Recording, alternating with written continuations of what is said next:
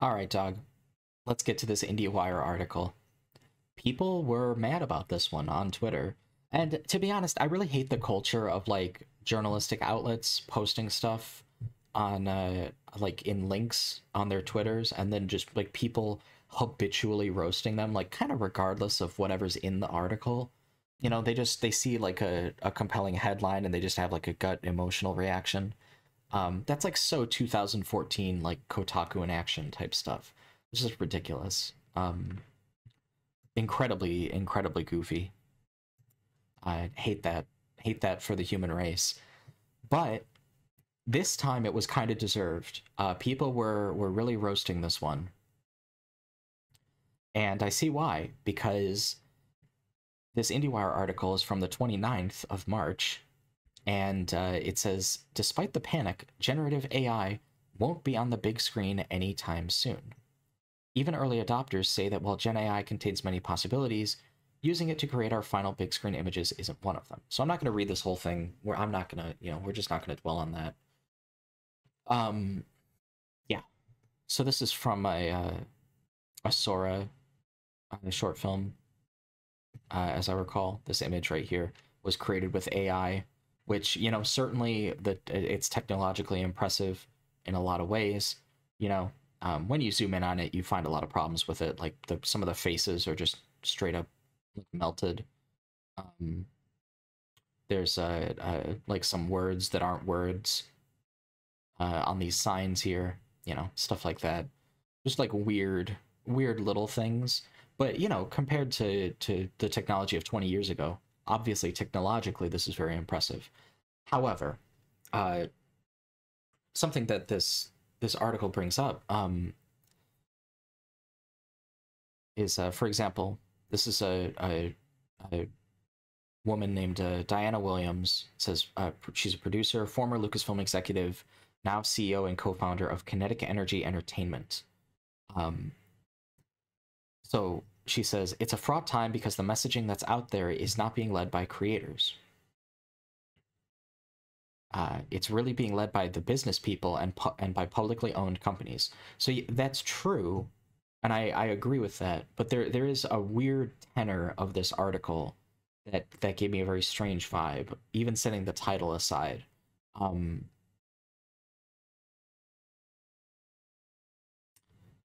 uh, so here we go. Uh, repeating a familiar sentiment, Brahmi said the common thread with each tech disruption is filmmakers adopt these tools to tell stories. I started understanding with AI that a computer can help me uh, create way faster, iterate faster, and get there faster, he said. Speed, that's what you hear over and over again as the real benefit of Gen AI imaging. By eliminating the friction, time consuming, uh, friction of time consuming tasks and collaborative translation fail, uh, fails, it lets an idea move slowly from a creative's head to something that others can see. Um, some of the, the qualifications here. And by the way, uh, I, I've seen this even on like uh, job applications where if you like they say outright if you submit anything to them application wise or if you um like perform any work for them when you work for that for a company some companies will just terminate you for that they have a zero tolerance policy for ai that is becoming uh you know i don't know if it's here to stay that sentiment but it is definitely becoming a contentious sentiment that a lot of people have and the article brings that up.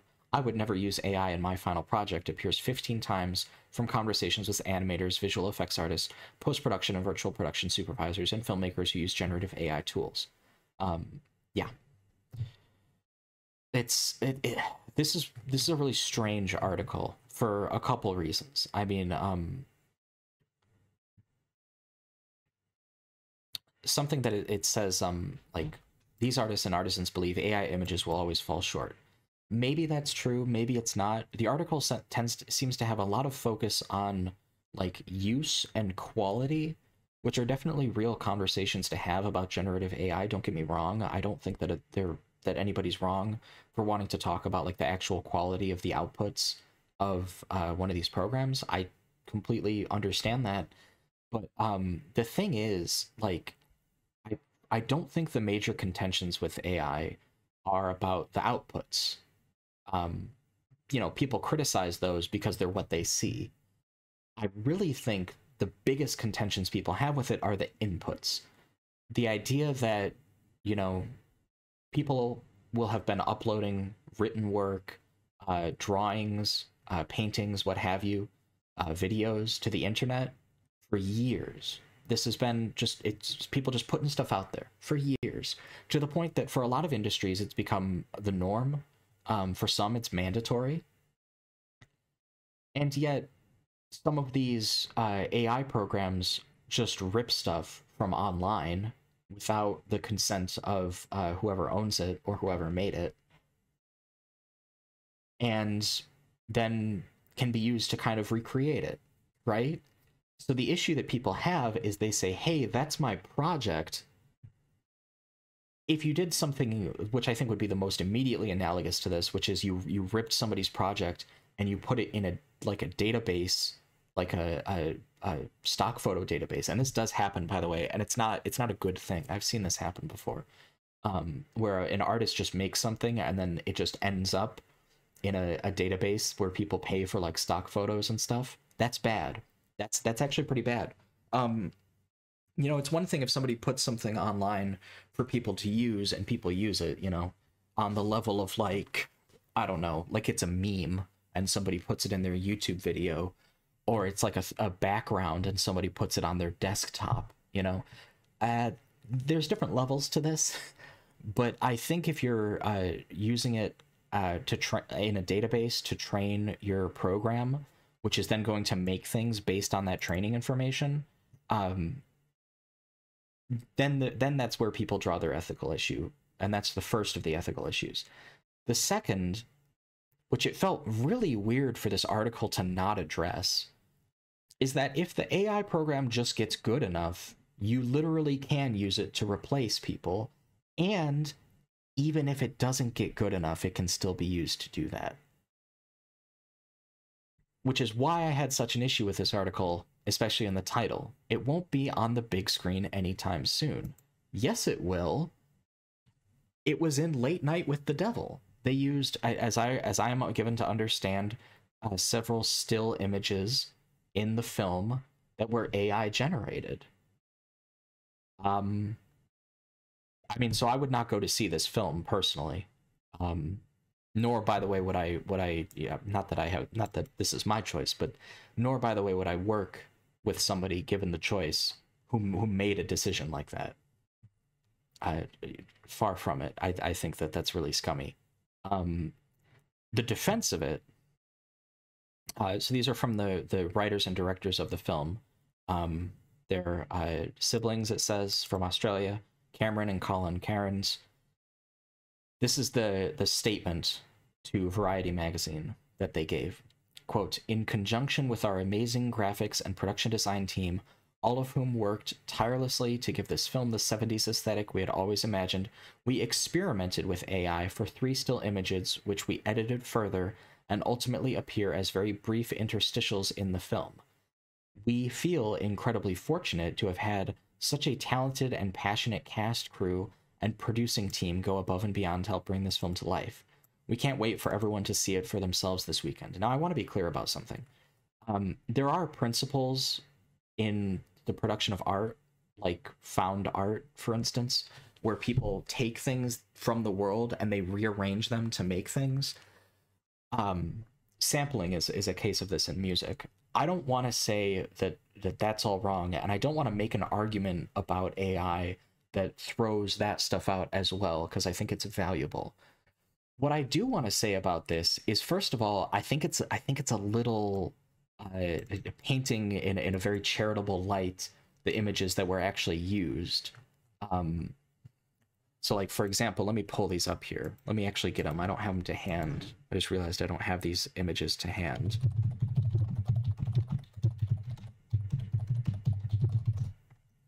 but I saw somebody post them on Twitter. Uh, so let me see.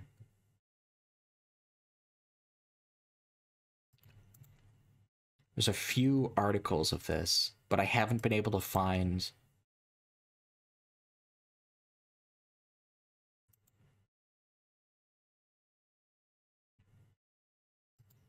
Yeah.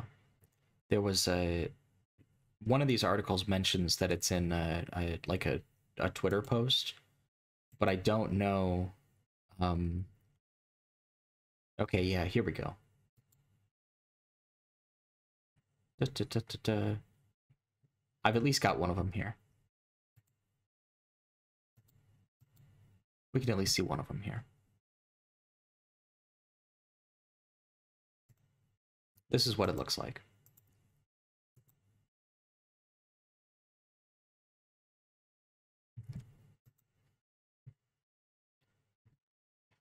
Okay. Um so that quote let's just let's just go back.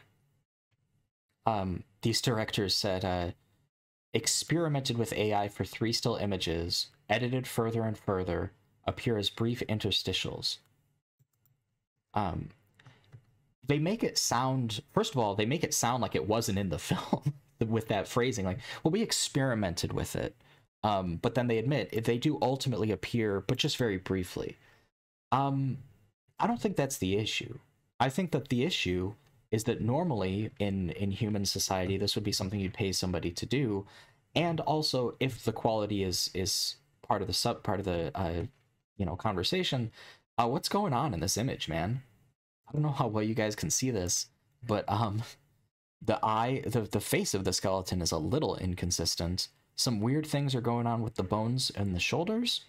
Um, I don't know what's going on with the pelvis here. I don't I don't think that's what human skeletal pelvises look like. Um, maybe it's supposed to be stylized. Uh, definitely the fingers on in the human body are not single bones that curve. Uh, and there also aren't like a bunch of them of different random thicknesses and lengths sprouting off of the hand in solid pieces at, at random angles, as seen in the left hand here. Um, also in the background, there is a just just a skull on a spine, just a skull on a spine. Um, uh, the jack o' lanterns look look like weird and and melted and kind of cut up. Um, it's it's not hundred percent clear whether they're all supposed to look like skulls or whether a couple of them are supposed to be skulls and the other ones are supposed to be jack-o'-lanterns um you know does that jack-o'-lantern have uh, three eyes and an ear? Look it we'll be here all day going over the quality of this image right? The fact of the matter is i think that setting aside that um that I think the the coverage of this film has been very uh, from from journalistic outlets has been relatively forgiven or relatively forgiving given like the actual quality of the images which is awful. Setting aside that however the indiewire article is the one that really ticks me off the most. Uh, and the reason for this is specifically because they talk about it like this is something that's never going to happen. This article was published on march 29th this variety piece, where's the date on this? March 21st. So, eight days before, there was major media coverage of the fact that this headline is false. And they published it anyway, and I don't see any retraction or clarification uh, attached to the article anywhere. So, misinfo? Like, not and not just misinfo maybe they would defend it on the basis that like okay maybe a couple films will do it but for the most part what we actually mean is that whole films won't be uh, uh, generated with ai um, not necessarily what the title says uh, and also the the um, little uh, tagline here where it says using it to create our final big screen images isn't one of them. First of all something that I think this article does do very clearly is it sets out the distinction between the fact that there were there were times when um, the use of AI in film was uh, and still is more about helping artists do things. Like you might have a program that helps you animate fire to make it more realistic, or helps you animate uh, uh, whether it's computer generated or whether it's it's animated uh, more like conventionally like a 3d animation like a disney project uh, when you're animating hair underwater. I mean, uh, you know, even people who edit YouTube videos know that there's like a ton of plugins that you can do that just generate effects for you. This is not the same level of thing. past a certain point, we're not talking about a tool that you use to make something new uh, by helping you apply a method to what you're doing that you use piecemeal uh, uh, to help create something, you know, like a brush on a canvas. Past a certain point, we're talking about just like looking at the canvas and going, okay, be a film. And then it becomes a film because other people's films were fed into that, or an image, looking at an image and going, okay, be this kind of image for me. And then it simply becomes that. At that point, we're dealing with a different kind of problem. And I think the issue here is that this article kind of brings up, like, hey, look, uh, generative AI, it's not good enough to be in movies. Well, clearly that's no object because this is crap. But it was in this movie, and this movie got a lot of positive press. So, like, you know, this this argument that like oh you know generative AI I it can't actually end up in stuff because it's not very good. Uh, a lot of movies aren't very good, and a lot of movies have bad stuff in them. You know, like you might make the same argument where it's like you know everybody who's a part of this production crew uh, they're really against uh, sexual assault. So obviously, Harvey Weinstein has never been associated with the film production. That doesn't make any sense, right? Like at, at a certain point, you're just saying stuff, and I feel like people who make arguments like this, they don't get it. You know, I'm, I'm very sorry to Chris O'Falt, who you know what a sorry what a name for a guy who's wrong about something. Um, but I, I I don't mean to be rude, but this is this is very inaccurate this is very silly. Some some editor at IndieWire should have caught this because this is not good. Um, you know, and should have caught it. By the way, it's uh, April third now, so maybe within the four days after it it being already out there, coming out at around uh, it says five thirty p.m. So I mean, assuming that's like my time, Central Time. You know, whatever. Uh, it it's just goofy, very very goofy that that we're in this um situation where we're having people make these arguments like, well, it's not very good, so obviously it'll never be used in a film. Have you guys like seen movies? You know, there's a lot of bad movies, right? Also, a lot of movies kind of been made by un- people with with very questionable systems of ethics, and a lot of those people, you know, despite the fact that they're on projects with people who do have very good uh, ethics, they they might be in charge of the people who have good ethics, which means they dictate who's getting hired and fired and who's staying on the project. Cass says it's already being used. Yeah, Cass. I mean, I, I, first of all, I trust you on this, given that like you've literally worked on film on films. Um, but everybody that uh, that I know, like, um, it's it's one thing um, to like use it as like a plugin, like you're saying, for like uh, simplifying tedious tasks. But the thing to understand is that a lot of like the AI bros, from their perspective, learning to make art is the tedious task. So we've moved to a very different uh, uh, kind of era, I think, where now now we're just kind of replacing stuff. And uh, I think one of the concerns people have is that artists who normally would have gotten paid for stuff um, even as we increasingly live in like this gig economy, artists who might have gotten paid for things before are might be replaced with a machine that does it make stuff that's worse? Does it make stuff that's less original? You know? Is it is it an overhyped piece of garbage? Those things can all be true, but it doesn't matter because that was never the object. The object of the, the companies is to make money. So if they can make money doing this, they'll do it. You know, and and past a certain point, on a certain scale, we're just going to see a bunch of this stuff without any intervention. And I leave that, um, you know, whoever's job it is to intervene, um, whether it's a union, whether it's the government, it seems like kind of a, a long shot in America right now, given how things, you can't even get people to, to build a bridge, you know. Sorry, that's not about the Baltimore thing. I just said bridge, and I realized, oh, people are going to think it's about the Baltimore thing. No, but I mean, you like you just you just can't you know you can't build a highway without it becoming like a, a whole political battle because people won't want to spend money on it. People like infrastructure spending is is like a partisan issue now. So frankly, uh, I think we're we're in a for a bad time here in the states uh, going forward. But it's also seeing filmmaking as like a frivolous job that's not real work. And I'll note that most AI bros lean towards loving finance shit. Yeah. Yeah, that's really I think that's to me the fascinating part is um how it's it's clearly it's like coming from a lot of the same people who were like hawking crypto a while back and then NFTs after that. Um, I don't know. It's it's it's just a big Silicon Valley thing, I think, as well. AI bros of right wing position IMO, and then working class people that don't know what goes into films think it's not real work. Yeah, yeah. Economists log off. Hey, I, I mean, I like I like people who study economics. Um, I'm just not a big not a big fan of like uh, corporate jerkwads. You know what I mean? Yeah. Well, it's not a good not a good situation, you know. And there's a lot of films that I would like. I, I swear to God, I'll draw this line over anything. You know, like I'm a big uh, like Lord of the Rings fan, Star Wars fan, stuff like that. Um, I will not go see a Star Wars film ever again if they start using AI generation to just like put images or videos of things in the films. Uh, if I if I find out about it, he like th- this better be the most clandestine operation that Disney has ever pulled. Uh, and I mean that with all the severity of its context. Um, if I find out about it, I- am just not going to go see the movie. Period.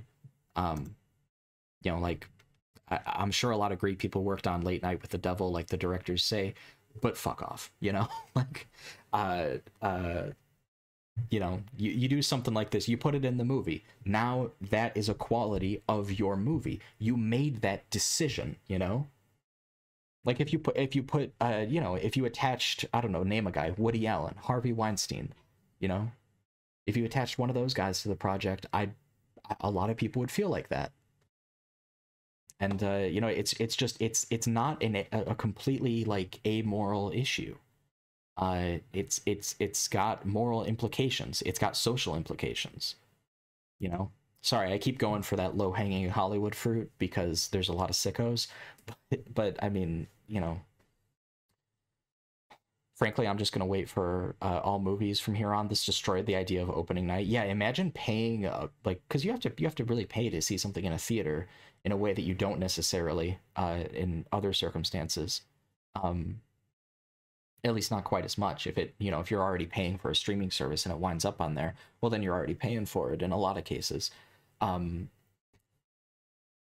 yeah did you see that marvel is using an imprint of Stan Lee's brain and ai for a comic series um well i mean not getting my money i'll tell you that much uh not that i have a lot of it to throw around but i you know i if it's if it's if it's made with generative ai i'm just i'm just not interested you know and it's one thing, like, again, AI tools. A lot of people have, like, when we talk about AI, right?